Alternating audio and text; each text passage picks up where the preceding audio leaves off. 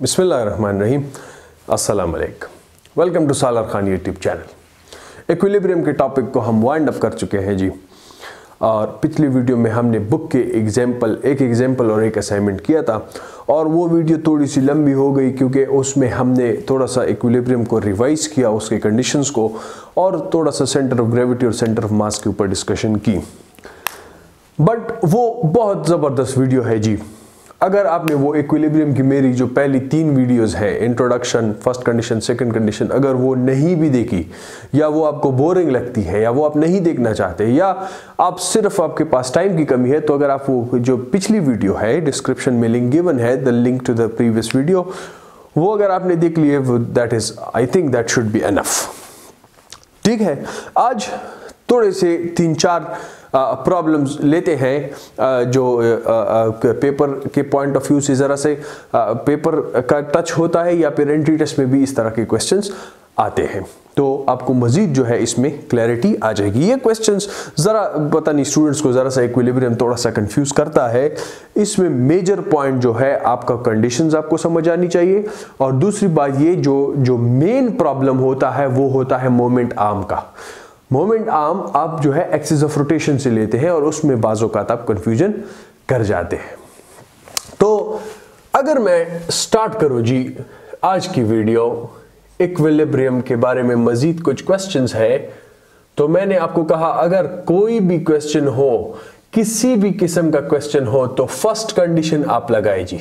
First condition क्या कहता है कि नेट फोर्स आपका ज़ीरो है, जिसका मतलब है कि sum of all the forces acting would be zero और ये कोप्लेनर फोर्सेस होने चाहिए, जिसका मतलब in the X direction forces should be zero in the Y direction the forces should be zero X direction का मतलब जितने राइट साइड पे हो, उतने लेफ़्ट पे होनी चाहिए। वाई डायरेक्शन का मतलब जितने अपवर्ड हो, उतने डाउनवर्ड होनी चाहिए। सेकेंड कंडीशन क्या कहता है जी? सेकेंड कंडीशन कहता है कि the net torque should be zero और नेट टॉर्क ज़ीरो का मतलब है जितने भी टॉर्क्स एक्ट कर रहे हैं, सारे ज़ीरो होने चाहिए, जिसका मतलब है कि जो टॉर्क्स क्लॉकवाइज है, उतने ही होने चाहिए एंटी क्लॉकवाइज डायरेक्शन में, ताकि बॉडी इक्विलिब्रियम में रहे। क्वेश्चन लेते हैं जी question number one question number one क्या कहता है? कहता है कि अगर एक स्ट्रिंग है एक स्ट्रिंग है, उससे मैंने एक मास सस्पेंड किया, या एक वेट मैंने सस्पेंड कर दिया वेट ठीक है जी? तो इसमें कुछ टेंशन होगा, और वो टेंशन हम फाइंड आउट करना चाहते हैं। किस तरह होगा? अगर मैं इससे कोई मास सस्पेंड करूँगा तो अब ये अपने इनिशियल पोजीशन के बजाय, अब ये ये शेप अटेन कर लेगा। ये शेप अटेन करेगा कि नहीं? अगर यहाँ पे मैंने कोई वेट सस्पेंड किया हुआ है बिल्कुल करेगा। ठीक है जी, किसी एंगल से let suppose this angle is 15 degrees this angle is 15 degrees weight downward है टेंशन इसमें अपवर्ड होगा कि नहीं होगा? बिल्कुल होगा जी। आपसे पूछ रहा है जी, ये टेंशन आपने मुझे कैलकुलेट करने बतानी है। If the angle of distortion is 15 degrees and the weight suspended is how much the weight suspended is, for example 10 newton. For example 10 newton है। तो देखिए जी, पहला कंडीशन लगाए sum of all the forces ये आप आप डायरेक्टली नहीं कर सकते। क्यों? क्योंकि टेंशन का कोई एंगल है जी, और वो क्या हो रहा है? तो उसमें आपने इसको रेक्टेंगुलर कंपोनेंट्स में रिजॉल्व कर देना है। ठीक है जी? बिल्कुल ठीक है। तो जितना एंगल ये है, उतना एंगल ये भी होगा जी।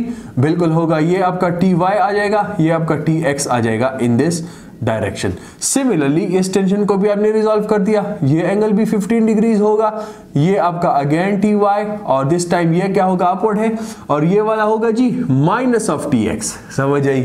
बिल्कुल है। क्यों? क्योंकि राइट साइड को आपने प्लस लिया तो लेफ़्ट साइड को माइनस ले। लगाई जी फ़र्स्ट कंडीशन लगाए। Summation of all the forces should be zero F X should be zero summation of F X should be zero इसका मतलब क्या है जी?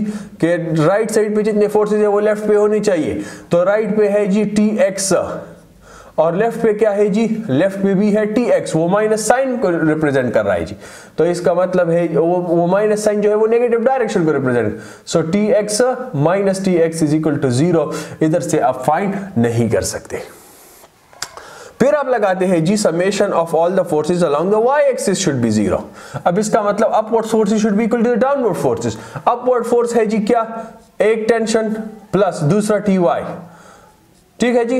ये अपवर्ड फोर्सेस और is equal to the downward force is equal to the weight of the body इसका मतलब है two times T Y is equal two W which implies T Y is equal to W by two which is equal to ten by two is five but ये tension नहीं है जी। ये tension का Y component है जिसका मतलब है this is T sine of theta T sine of theta is five और थीटा जो है वो 15 डिग्रीज है तो जिसका मतलब है टेंशन आप फाइंड करेंगे by dividing 5 by sine of 15 और साइन ऑफ़ 15 मेरे ख्याल में पॉइंट पॉइंट टू फाइव है या वन ओवर फोर है जो भी है। करे ज़रा। इससे आपके पास आंसर आ जाएगा जी आ, वो है 20 न्यूटन 20 न्यूटन। बिल्कुल 20 न्यूटन। बस। ठीक हो गया? बिल्कुल ठीक। इसी में अगर मैं एक दूसरा पार्ट लेता हूँ।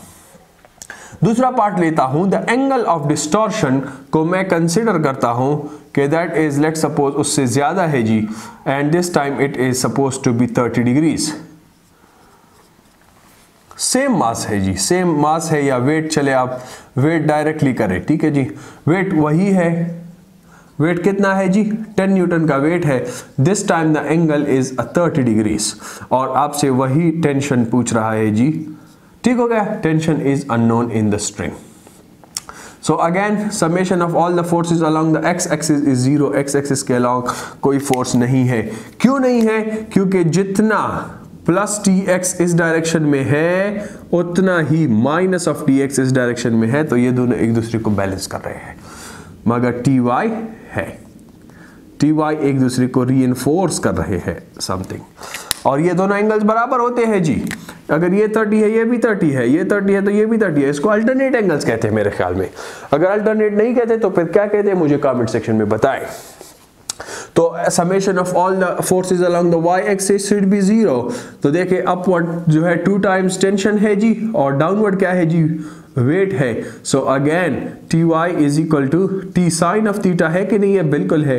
W अपॉन टू है कि नहीं है? W is ten ten two is five five और divide by so T is equal to five divide by thirty sine of thirty is point five so five divide by point five the tension is equal to ten newton इधर से एक conclusion draw करें। एक conclusion draw करें। क्या? कि अगर theta आपका थर्टी डिग्रीज है तो आपका वेट यानी टेंशन जो है वो वेट के बराबर होगा। If theta is equal to thirty degrees calculation आप करें ही ना। किसी और के लिए कर ले। वेट आप कंसिडर करें, चाहे 20 न्यूटन कंसिडर करें 30 डिग्रीज एंगल ऑफ़ डिस्टॉर्शन ले ले और आप फाइंड करेंगे कि टेंशन जो है वो भी उतना ही आएगा जितना आपने वेट कंसिडर किया हुआ है। ठीक है जी? बिल्कुल ठीक है। क्वेश्चन नंबर टू कहता है जी, एक यूनिफॉर्म रॉड ले रहे। Question number two question number two मेरे ख्याल में यहाँ पे आपको नज़र आएगा, जी बिल्कुल बहुत जगह है जी। यूनिफॉर्म रॉड कहते हैं कि ले। ले तो चले यूनिफॉर्म रॉड ले लिया। और यूनिफॉर्म रॉड आपको मैंने बताया था, कहाँ पे बैलेंस होगा? उसका सेंटर ऑफ़ मास उसका सेंटर ऑफ़ ग्रेविटी किधर लाई करेगा जी? उसके एग्जैक्ट सेंटर पे लाई करेगा। लेट सपोज़ मैंने इसको यहाँ पे बैलेंस कर दिया। अब क्या कहता है जी कि एक डिस्टेंस है आर वन उस पर मैंने एक m1 10 kg का मास जो है वो कर दिया। इधर मैंने एक एम वन मास 10 kg का हैंग कर दिया एक डिस्टेंस r1 के ऊपर। ठीक हो गया? R1 किधर से होगा? एक्सिस ऑफ़ रोटेशन से। ये सेंटर इसका एक्सिस ऑफ़ रोटेशन होगा। ठीक हो गया? अब कहता है एक दूसरा डिस्टेंस मेरे पास गिवन है R two which is 20 centimetre R2 given है जी विच इज़ 20 सेंटीमीटर और इस पर मैं कितना मास हैंग करूँ M2 के ये इक्विलिब्रियम में हो। ठीक है जी? बिल्कुल ठीक है। R1 आपको गिवन है जी 16 सेंटीमीटर 16 सेंटीमीटर।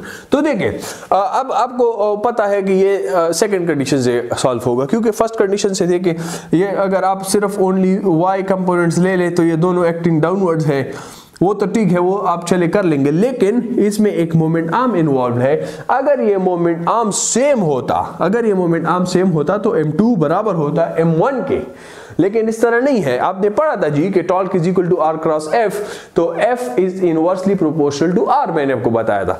तो जिधर मोमेंट आर्म ज़्यादा होगा, उधर फोर्स कम होगा जी। अब आप देखेंगे कि इसमें जो m2 की वैल्यू आएगी, वो m1 से कम आनी चाहिए। क्यों? क्योंकि m2 का मोमेंट आर्म ज़्यादा है। तो इधर हम बात करेंगे जी समेशन ऑफ़ द टॉर्क्स ये अगर लेट सपोज़ एक वेट वन फोर्स अप्लाई करेगा, ये अगर लेट सपोज़ एक वेट टू फोर्स अप्लाई करेगा तो हम कहते हैं जी कि अगर एक्सिस ऑफ़ रोटेशन यही सेंटर है तो summation of all the torques in the clockwise direction should be equal to summation of all the torques in the anti clockwise direction clockwise क्या होगा जी? ये m2 क्लॉकवाइज प्रोड्यूस करेगा कि नहीं करेगा? बिल्कुल करेगा। इसका वेट जो होगा m2 मल्टीप्लाइड बाई जी होगा कि नहीं होगा? बिल्कुल। और उसका जो मोमेंट आर्म है वो कितना है जी? 20 है। और is equal to anti clockwise कितना प्रोड्यूस करेगा? m1 की वैल्यू आपको गिवन है 10 किलोग्राम है, और इसके साथ g भी मल्टीप्लाई होगी वेट के लिए, और इसका जो मोमेंट आर्म है वो 16 सेंटीमीटर है। तो देखिए जी तो जी के साथ कैंसिल आउट हो जाएगा डायरेक्टली और 16 मल्टीप्लाई टेन क्या आता है जी? 160 आता है कि नहीं आता? और इसको डिवाइड कर देंगे जी 20 से, और ये आपके पास m2 आ जाएगा। विच इज़ 8 किलोग्राम और ये तो मैं आपको ऑलरेडी बता चुका हूँ कि R2 इसका ज़्यादा है तो इसका मास कम आएगा। ठीक? बिल्कुल ठीक। नंबर थर्ड ये यूनिफॉर्म रॉड था।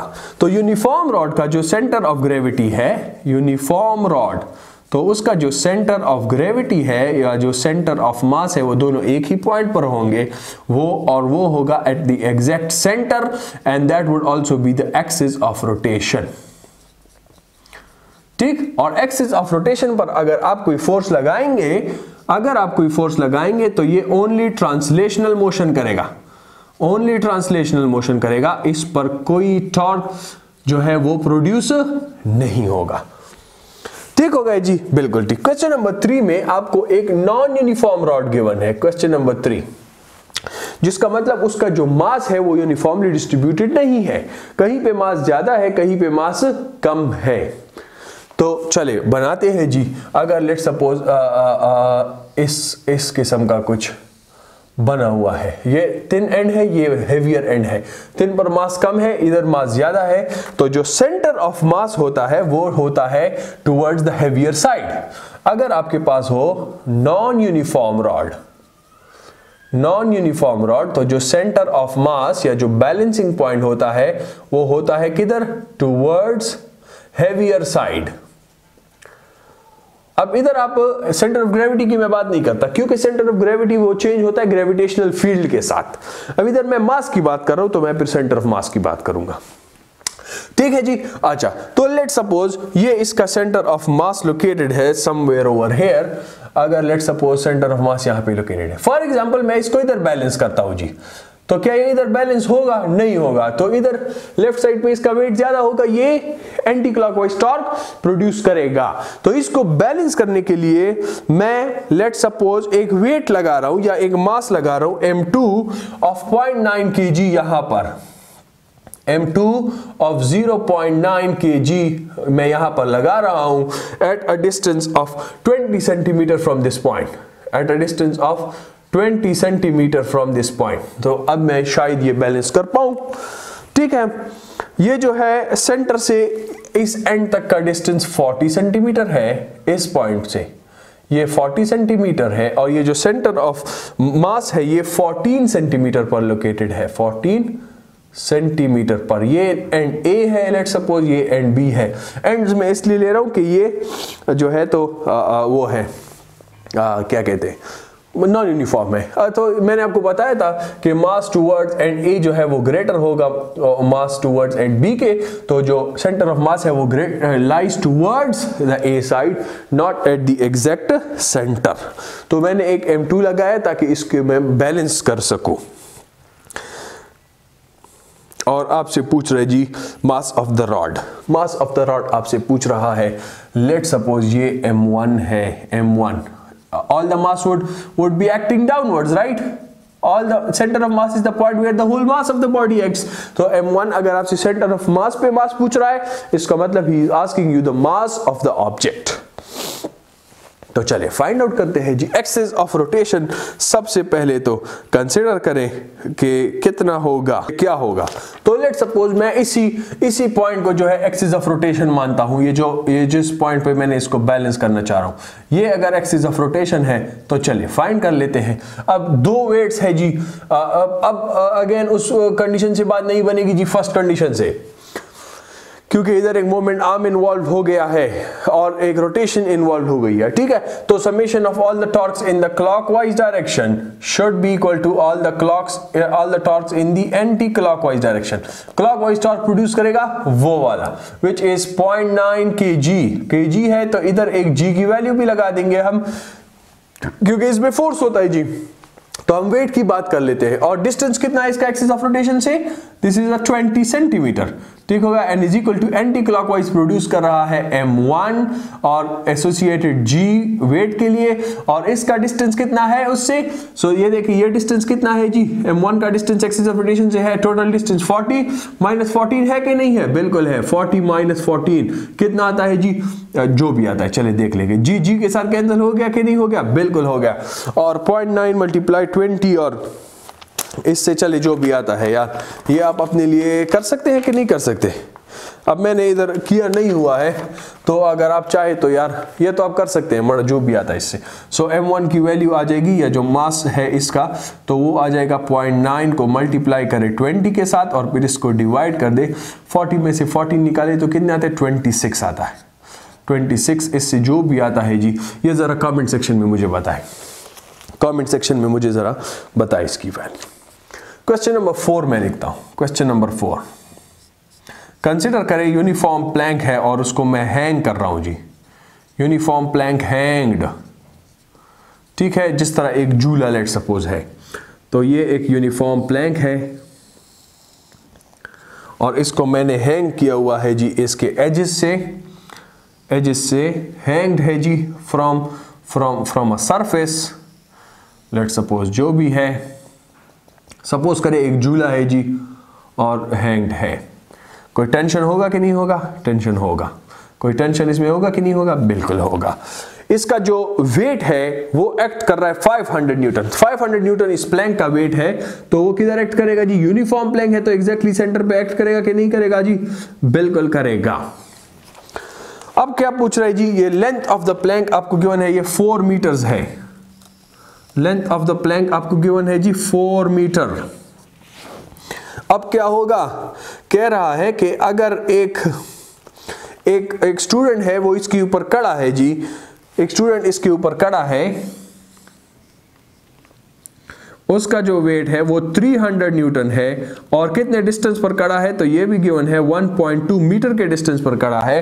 तो आपसे पूछ रहा है कि tension in the string on both sides कितनी होगी? तो लेट सपोज़ मैं इसको ए मानता हूँ, इसको बी मानता हूँ। पूछ रहा है कि टेंशन ए कितना होगा टेंशन बी कितना होगा? तो of course T A greater होगा। टी ए ग्रेटर क्यों होगा? क्योंकि यहाँ पर मैंने वेट को बढ़ा दिया है, इधर एक स्टूडेंट मैंने कड़ा कर दिया है। तो फाइंड करते हैं जी। तो अगेन फ़र्स्ट कंडीशन से ये होने वाला नहीं है। बेशक आप ट्राई करके देख लीजिए। बेशक, चले चले देखते हैं जी। Summation of all the forces along the X axis should be zero तो एक्स एक्सिस के अलोंग तो कोई फोर्स ही नहीं है। Summation of all the forces along the Y axis should be zero तो वाई एक्सिस के अलोंग कौन से फोर्सेस है? T A T B upward है। तो अपवर्ड को मैं पॉजिटिव ले रहा हूँ। और डाउनवर्ड को मैं ऑन दी अदर साइड लेता हूँ। कितना है? एक वेट ऑफ़ द प्लैंक 500 है और एक कितना है जी? प्लस 300 स्टूडेंट का वेट है। So T A plus T B जो है वो 800 आ गया। इसको मैं इक्वेशन वन कहता हूँ। ये फ़र्स्ट कंडीशन सेकंड कंडीशन अब मैं लगाता हूँ कि summation of all the torques in the clockwise direction should be equal to all the torques in the anti clockwise direction और लेट सपोज़ इस पॉइंट ए को मैं एक्सिस ऑफ़ रोटेशन ले लेता हूँ। से A is what? A is the axis of rotation. तो मैंने आपको बताया था कि जब आप कोई एक्सिस ऑफ़ रोटेशन कंसीडर कर ले तो आप फिर एक एक एक फोर्स को इंडिविजुअली ट्रीट करें। उसकी वजह से फिर टॉर्क भी नहीं होगा, जो फोर्स एक्सिस ऑफ़ रोटेशन से पास होगा। क्यों? क्योंकि उसका कोई मोमेंट आर्म जो है, वो क्या होता है? मोमेंट आर्म उसमें ज़ीरो होता है so torque is zero in that case क्या करते हैं जी? बताए। क्लॉकवाइज टॉर्क कौन सा प्रोड्यूस करेगा? टी ए की वजह से कोई टॉर्क नहीं होगा। 300 न्यूटन क्लॉकवाइज टॉर्क प्रोड्यूस करेगा। बिल्कुल करेगा। 300 न्यूटन इसका डिस्टेंस कितना है जी? मोमेंट आर्म से गिवन है 1.2 मीटर कोई और क्लॉकवाइज टॉर्क है? बिल्कुल है। Weight of the plank B clockwise rotate करेगा। इंडिविजुअली कंसिडर करना होता है। ठीक है जी? बिल्कुल। 500 हंड्रेड इंटू कितना डिस्टेंस होगा? तो ये तो सेंटर पे है। तो 4 divide by two would be 2 metres clockwise खत्म। टीबी को देखिए ये एंटी क्लॉकवाइज टॉर्क प्रोड्यूस करेगा। तो मैं इसको अलग लिखता हूँ इधर से। So TB is the force और इसका जो डिस्टेंस होगा एक्सिस ऑफ़ रोटेशन से वो 4 है। मल्टीप्लाई करें जी, क्या आता है जी? ये 360 आता है। ये आता है जी 360 और ये आता है जी 1000 और ये होगा जी four times T B so इसका मतलब है कि T B is equal to what one thousand three hundred and sixty divided by four और टी बी की जो वैल्यू आती है tension at end B is equal to how much 340 340 newton अब इसमें, इसको उठा के मैं किधर पुट करता हूँ? वन इक्वेशन में पुट करता हूँ तो इसका मतलब है कि टी ए कितना आ जाएगा जी? वो 800 में से 340 को माइनस करें तो इसका मतलब है कि tension at in A is a 460 newton और मैंने आपको ऑलरेडी बताया था कि एट ए पर जो टेंशन होगा, वो ग्रेटर होगा एंड बी से एक और क्वेश्चन कर ले। चले इसी इसी टाइप का एक और क्वेश्चन करते हैं। क्वेश्चन नंबर फाइव है मेरे पास जी। क्या कहता है क्वेश्चन नंबर फाइव एक यूनिफॉर्म प्लैंक है विथ टू सपोर्ट्स यहाँ पे हैंग था। अब मैं लेट सपोज़ इसको सपोर्ट नीचे से दे रहा हूँ। Uniform plank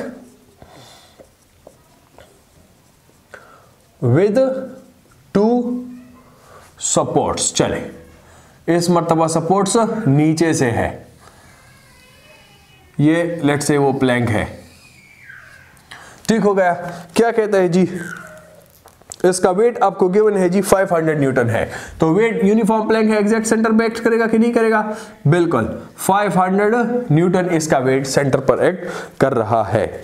ये एक सपोर्ट इस साइड पे है, एक सपोर्ट इस साइड पे है। अगर ये सपोर्ट है लेट सपोज़ ये सपोर्ट ए है तो ये एक फोर्स अपवर्ड डायरेक्शन में लगाएगा कि नहीं लगाएगा? एफ़ ए ये सपोर्ट बी है, ये एक अपवर्ड डायरेक्शन में फोर्स लगाएगा कि नहीं इसको सपोर्ट करने के लिए? इसको मैं कहता हूँ एफ़ बी ठीक?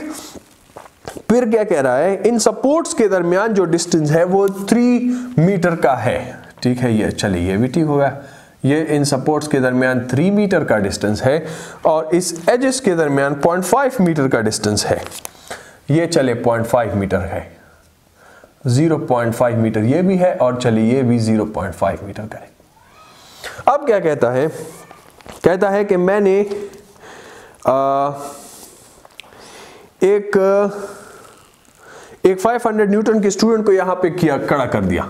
इस एच पर मैंने एक 500 न्यूटन के स्टूडेंट को कड़ा कर दिया। 500 न्यूटन है, जी। और इधर से 0.5 मीटर के डिस्टेंस पर, इधर से 0.5 मीटर के डिस्टेंस पर मैंने एक 100 न्यूटन के स्टूडेंट को कड़ा कर दिया। यानी एक आप है, एक आपका छोटा भाई है। तो कह रहा है कि एफ़ ए कितना होगा और एफ़ बी कितना होगा। दोनों सपोर्ट्स जो फोर्स अप्लाई कर रहे हैं, वो कितने होंगे? For the for the rod to be in equilibrium for the rod to be in equilibrium तो चले फ़र्स्ट कंडीशन लगाई जी summation of all the forces along the X axis should be zero वो तो ऑलरेडी ज़ीरो है। Summation of all the forces along the Y axis should be zero तो all the forces along the Y axis कितने हैं जी? Upward forces कौन से हैं? F A है एक और एक एफ़ बी है। F A plus F B is equal to downward forces कितने हैं जी? हंड्रेड न्यूटन एक स्टूडेंट का है फाइव हंड्रेड प्लैंक का है और फाइव हंड्रेड दूसरे स्टूडेंट का है, जिसका मतलब है ये 1100 न्यूटन है टोटल इसको मैं इक्वेशन नंबर वन कहता हूँ। F A plus F B eleven newton है। बस, ये फ़र्स्ट कंडीशन हो गया जी। सेकंड कंडीशन के ऊपर आए। Summation of all the torques in the clockwise direction is all the torques in the anti clockwise direction axis of rotation कोई consider करे। एक्सिस ऑफ़ रोटेशन कोई कंसिडर करे। तो लेट सपोज़ मैं इस सपोर्ट ए को सपोर्ट ए ये दो सपोर्ट्स या जो पीवट्स या जो फलक्रम्स है, इसमें से एक सपोर्ट ए को मैं एक्सिस ऑफ़ रोटेशन मानता हूँ। तो ये जो फोर्स लगाएगा, उसकी वजह से कोई टॉर्क प्रोड्यूस नहीं होगा। एक्सिस ऑफ़ रोटेशन पर जो फोर्स एक्ट करता है, उसका कोई टॉर्क नहीं होता। क्यों? क्योंकि उसके लिए रिक्वायर्ड मोमेंट आर्म ज़ीरो होता है।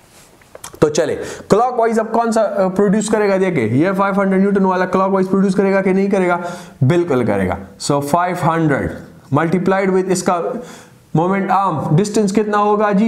एक्सिस ऑफ़ रोटेशन से तो देखे ये टोटल थ्री है, ये बिल्कुल मिड पर है सो ये 1.5 मीटर प्लस ये 100 न्यूटन भी क्लॉकवाइज प्रोड्यूस करेगा जी? बिल्कुल करेगा। 100 न्यूटन मल्टीप्लाइड विद 100 का मोमेंट आर्म कितना होगा? देखे ये टोटल थ्री है, लेकिन ये इधर से 0.5 मीटर पर लोकेटेड है। तो इधर से इधर तक का डिस्टेंस 3 माइनस पॉइंट होगा कि नहीं होगा? बिल्कुल होगा। 2.5 मीटर होगा कि नहीं? बिल्कुल होगा। अब देखें, अब क्या करेगा जी? चले ये एफ़ बी और ये रह गए। ये दोनों अब देखें एंटी क्लॉकवाइज प्रोड्यूस कर रहे हैं। Is equal to F B unknown है। एंटी क्लॉकवाइज प्रोड्यूस कर रहे हैं। मल्टीप्लाई डिस्टेंस कितना है जी? थ्री है कि नहीं? बिल्कुल। प्लस ये 500 भी तो है। ये 500 भी प्रोड्यूस कर रहा है। कितना? एंटी क्लॉकवाइज डायरेक्शन में। और इसका डिस्टेंस है जी 0.5 मीटर समझ आई? बिल्कुल आई। आजा तो बस इसको आप खुद से कर सकते हैं कि नहीं कर सकते? चलिए, इसको मैंने किया नहीं हुआ है तो मैं ज़रा जल्दी जल्दी से आपके साथ इसको इकट्ठे करते हैं जी। कैलकुलेटर निकाले जी। 500 को मल्टीप्लाई करें 1.5 से सो ये तो मेरे ख्याल में 750 आ जाएगा। बिल्कुल आ गया जी। 750 है। और प्लस 2.5 को मल्टीप्लाई करें 100 से तो ये 250 आ जाएगा। बिल्कुल आ जाएगा 250 और is equal to three times F B और प्लस 500 को 0.5 से करें तो ये 250 आ जाएगा। ये बिल्कुल अगेन 250 आ गया जी। तो ये देखिए 250 250 के साथ कैंसिल हो जाएगा। एफ़ बी जो होगा, वो कितना होगा? 750 को डिवाइड करें जी थ्री पे तो ये आ जाएगा जी 250 seven fifty divide by three is two fifty. बिल्कुल ठीक। तो एफ़ बी आपके पास आ गया जी 250 न्यूटन। अब देखिए, अब आप इक्वेशन नंबर वन में एफ़ बी की वैल्यू वापस पुट करें। सो एफ़ ए आपके पास आ जाएगा विच वुड बी 1100 माइनस कितना? एफ़ बी विच इज़ 250 तो एफ़ ए की वैल्यू भी आ जाएगी which is equal to what which is equal to 850 newton. So F A जो है वो 850 newton force so F A भी मिल गया एफ़ बी भी मिल गया और आपका जो रॉड है वो इक्विलिब्रियम में रह गए। ठीक हो गया जी, बिल्कुल ठीक हो गया। तो मेरे ख्याल में वीडियो को यहीं पे ख़त्म करते हैं जी। ये एग्जांपल्स काफ़ी है और इक्विलिब्रियम की भी आपको समझ आ गई होगी। मज़ीद आपको समझ नहीं आई, कोई भी पॉइंट हो, कोई बात हो, कोई आपके साथ क्वेश्चन हो अगर छोटी सी बात हो वो तो आप कमेंट सेक्शन में पूछे, मैं जवाब दे दूँगा। अगर कोई पूरा क्वेश्चन आप सॉल्व करवाना चाहते हैं तो वो कमेंट सेक्शन में अगर फ़ोटो होता है तो फ़ोटो लगा दे। वरना तो फेसबुक पेज का जो लिंक है, वो डिस्क्रिप्शन में होता है। उधर आप इनबॉक्स कर दे, आपके लिए वीडियो बना देंगे जी, या कोई पेपर पे हल करके आपको दे देंगे। ठीक है तो चैप्टर को यही पे ख़त्म करते हैं। आपसे मुलाकात होगी अगले वीडियो में, जहाँ एक्सरसाइज क्वेश्चन शुरू करेंगे। और बस बस ये इतनी सी बात है। ठीक है? तो मिलेंगे बहुत जल्द। जी तब तक के लिए अपना ख्याल रखिए, अपने इर्द गिर्द के लोग का ख्याल रखिए। चैनल को सब्सक्राइब कीजिए, मुझे अपने दुआओं में याद रखिए। अल्लाह हाफिज़।